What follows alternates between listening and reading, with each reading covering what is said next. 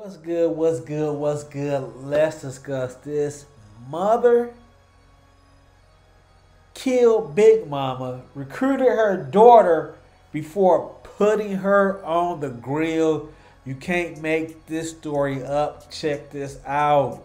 32 women, a mother and daughter accused of killing their grandmother remain in jail. It's a gruesome story. One Arcady Barlow heard in court today. She's in Landover with the details.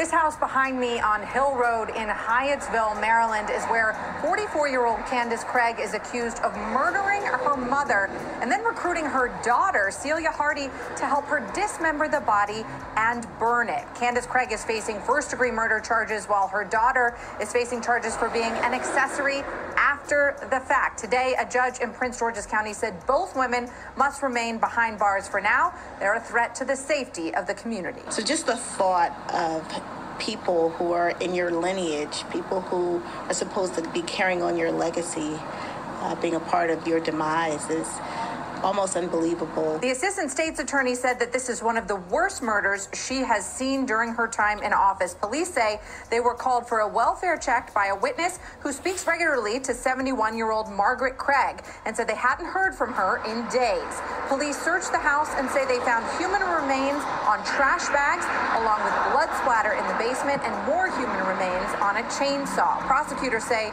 the two women dismembered the body, then tried to burn it on a grill behind the house thought something was kind of suspicious because Memorial Day they had their grill further down from the house, from the from the house. Usually have their barbecues close to the house. That kind of kind of got suspicious. I didn't see nobody at the grill, nobody bringing anything out to the grill, so I didn't pay much more attention had, to it. They had one of those um, a barrel type grills. Yes. And they had uh, the, the charcoal sitting beside, and then you had like a little table with the, with the umbrellas.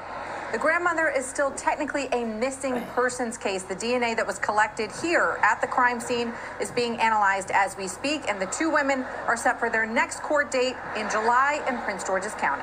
Back to you guys.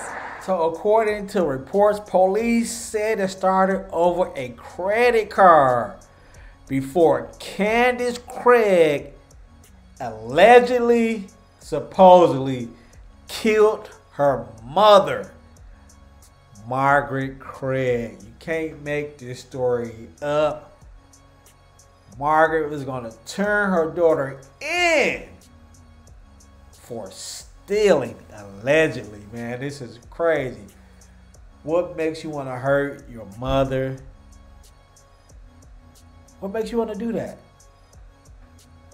Some of these stories you can't make up, man. Let's discuss. Let me know what you think comment, man.